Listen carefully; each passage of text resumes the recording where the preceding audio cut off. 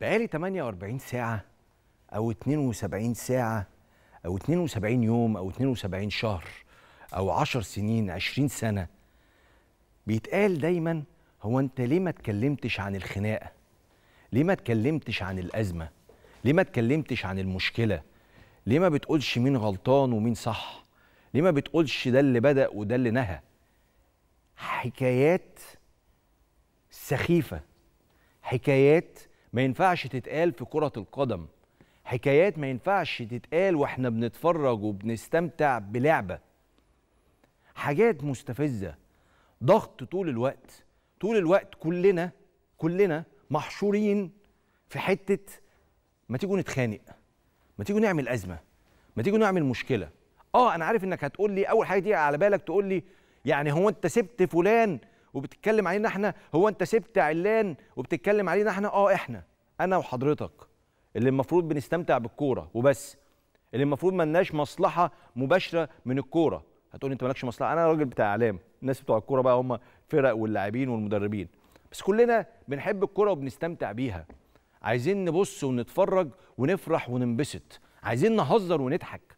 أنا عايز أطلع على الهوا أقول لك الحق شفت اللعيب اللي كان في الأهلي عمل إيه وخد كوبري ولعيب الزمالك اللي مش عارف اتضحك عليه وترقص مش عارف إيه. الحاجات دي زمان زمان بيتفرجوا على مزبيرو زمان يا جماعة وشوفوا برامج الكورة زمان. زمان كانت بتتقال عادي في البرامج زمان كانت بتتقال عادي في القهاوي زمان كانت بتتقال في كل حتة من غير ما الناس بتتخانق مع بعض بيقعدوا يضحكوا. فاكرين زمان كنت مثلا تلاقي والدك يقول لك إيه لا لا أنا مش عايز أنزل الشغل النهارده أنا كنت حاطط رهان إن أنا هعزم الناس كلها على شاي الصبح في في المصلحة الحكومية مثلا ولا هعزمهم على أكل عشان لو الاهلي اتغلب ولا الزمالك اتغلب. بهزار وضحك ويوم حلو وحتى الوحش ما بيبقاش وحش قوي عشان أنت ما بتتخانقش عشان أنت ما بتتعصبش. انت بتبقى مبسوط طول الوقت مستني المباراة بتجمع صحابك وأهلك وحبايبك وتتفرجوا على المباراة. كسبت كسبت خسرت خسرت. لا كنا نسمع عن خناقة فلان وفلان ولا أزمة فلان وفلان ولا قصف الجبهة ولا الحملات الإلكترونية ولا أصل مش عارف مين قال لك إيه في التلفزيون ومين قال لك إيه في الجورنال ومين قال لك إيه في الموقع ومين كل القصص دي ما كناش بنعيشها. بنتفرج على الكورة كده بيور متعة. مفيش أي شوائب مفيش أي تلويث. بقت كل حاجة في الكورة مش كل حاجة بصراحة عشان أبقى أمين برضو. بس بقى في حاجات ملوثة كده بتتعبنا وبتاخدنا. يعني حتى مباراة الأهلي والزمالك الأخيرة لما أطلع أقول إنه عجبني جدا اللقطة بتاعت الممر الشرفي عجبني جدا اللقطة بتاعت شيكابالا ومؤمن زكريا عجبني جدا هتافات جماهير الأهلي والزمالك تشجيعا لمؤمن زكريا. عجبني اللعيبة وهي بتسلم على بعض. يقول لك إيه ده؟ هو أنت بتقول على ده؟ وسايب اللي مش عارف عمل إيه وما عملش إيه ومش عارف إيه والكلام ده. آه يا عم هسيب ده. أنا عاجبني المنظر الحلو ده. هل حضرتك إحنا النهارده إيه؟ تالت يوم تقريبا بعد القمة أو رابع يوم. هل حضرتك فاكر المناظر اللي بقول لك عليها الحلوة دي؟ لا.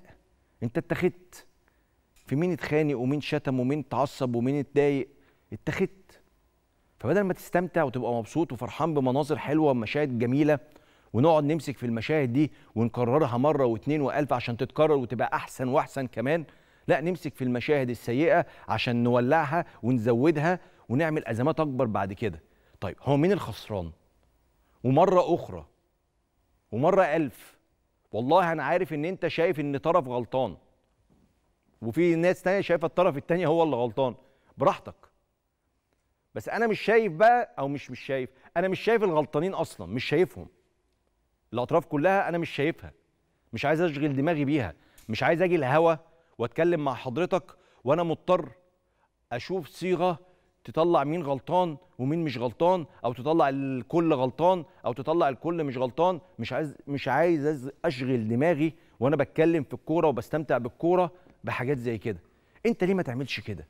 عشان تبقى أعصابك هادية. أنت متصور أنت قاعد في البيت وسط ولادك وعمال تتحرك scroll كده على الموبايل على ال social media وفلان عمل في فلان وفلان رد لفلان وفلان اتخانق مع فلان.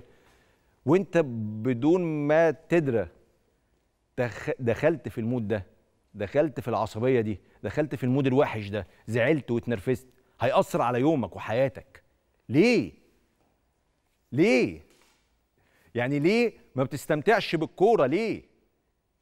اسمها لعبة. أنا كل مرة أقول الجملة دي أنا عارف بس هي اسمها لعبة لعبة كرة القدم. ليه بقى تبقى خناقة؟ نفس القصة اللي كنت لسه بقولها في المقدمة. فاكر وإحنا عيال صغيرة ننزل نلعب في الشارع تلعب في الملعب تلعب في أي حتة؟ في حد دايما هو اللي ينكد على كل الناس اللي بتلعب. اللي يتخانق اللي بيخش جامد اللي بيشتم اللي بيتعصب. وإحنا نازلين نلعب أصلا مأجرين ساعة ورايحين نستمتع بيها. بس هو بوظ الدنيا. والكرة اتاخدت في الآخر ومشينا وروحنا واتنكدنا. ليه؟ وإحنا نازلين نلعب وننبسط. نفس السيناريو بالظبط. في ناس تتشبع. في ناس مصدر سعادتها وحياتها هي النكد. تستغربش. حتى في العلاقات الشخصية هتلاقي كده في ناس تتغذى على النكد بتحب النكد وبتتضايق إن اللي حواليها مش متنكدين فلازم تتنكد زيي. هو ده اللي بيحصل بالظبط. هو انت سايب الخناقة و... يا عم مش عايز تتخانق. أنا مش عايز أتخانق ومش عايزك أنت كمان تتخانق. هو لازم هو أنت مضطر هو بالعافية. خلونا نقعد ننبسط شوية. تعال أقول لك النهارده الأهلي بيتحسن مش عارف في إيه والزمالك بقى لعبه حلو في إيه. شايف بقى بيراميدز كمان عندهم لعيبة حلوة قوي والإسماعيلي محتاجينه يرجع تاني عشان يرجع يطلع لنا نجوم عظيمة. بس الناحية التانية الاتحاد محتاج تطوير فني شوية مش عارف في إيه. نتكلم كورة. نتكلم كورة هو عيب. بناخد وقت طويل وكبير في الخناق وأيام طويلة وعريضة. منافسة حلوة في الدوري السنة دي.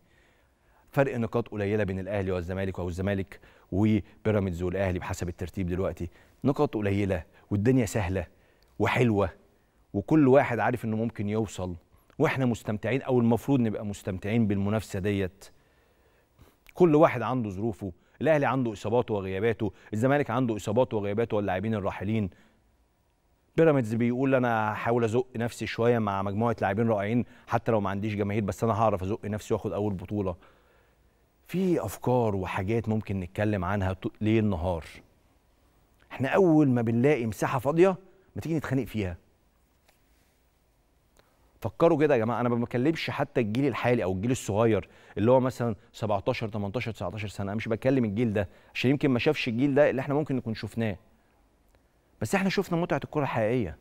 إحنا زمان كنا بيطبعوا لنا ورق كده ويكتبوا الأهلي مش عارف حصل فيه إيه في مناورة وفي مغامرة وفي مش عارف والزمالك والورق ده كنا بنروح نصوره وبنوزعه على بعض والدنيا كانت بتبقى لطيفة.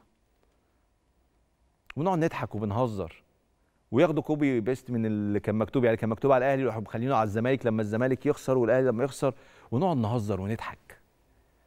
اضحكوا يا جماعة انبسطوا. هزر مع اللي جنبك على على القهوة زملكاوي أو أهلاوي. هزر معاه اضحك. قول له إحنا عملنا فيه وما أنتوا بتعملوا كده على فكرة. بالمناسبة كل مجموعة صحاب فيها أهلاوية وزملكاويه بيخرجوا مع بعض وبيهزروا وبيضحكوا. بس أول ما بنخش على ال social media بتبقى حرب. يا ابني ويا يا سيب مش عارف إيه وانت ما بتفهم وانت ما بتعمل ليه؟ ليه؟ ليه لنفسك؟ أنا مش بقول لك ليه عشان أنا متضرر. أو إن كنت متضرر يعني.